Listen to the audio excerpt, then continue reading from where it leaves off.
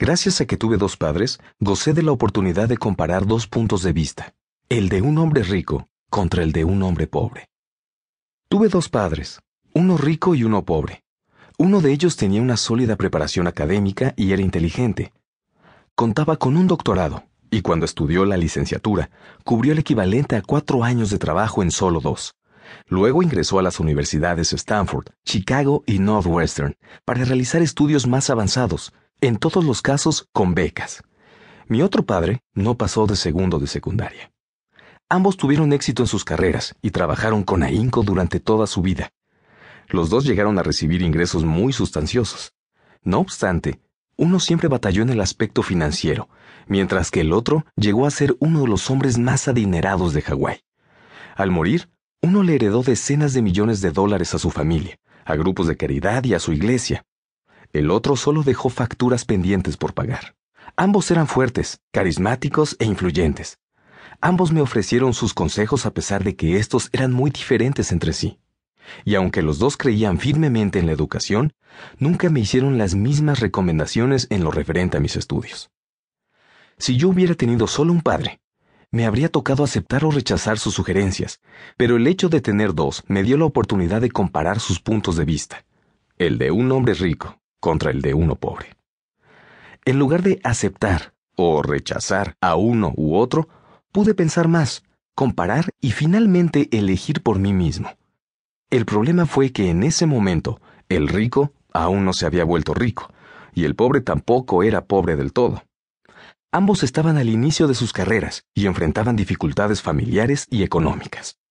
A pesar de ello, sus puntos de vista respecto del dinero eran muy distintos. Por ejemplo, uno de mis padres decía, el amor por el dinero es la raíz de todos los males, mientras que el otro afirmaba, no tener dinero es la raíz de todos los males.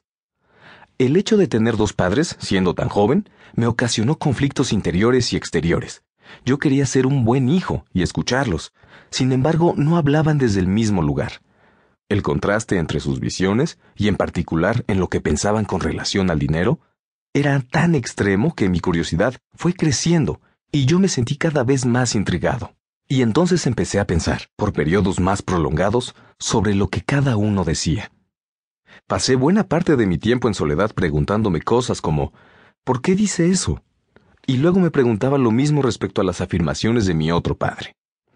Habría sido mucho más sencillo decir, Ajá, tiene razón, estoy de acuerdo con él. O rechazar sus opiniones con algo como, Mi viejo no sabe de lo que habla. Pero en lugar de eso, tuve dos padres a quienes amé y que me forzaron a pensar y finalmente a construir una opinión propia. A largo plazo, elegir por mí mismo en lugar de solo aceptar o rechazar sus puntos de vista implicó un proceso mucho más valioso.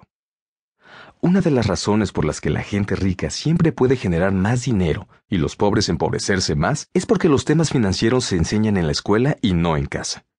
Casi todos aprendemos de nuestros padres lo que sabemos sobre el dinero, pero ¿qué pueden los padres pobres enseñarles a sus hijos respecto a este tema?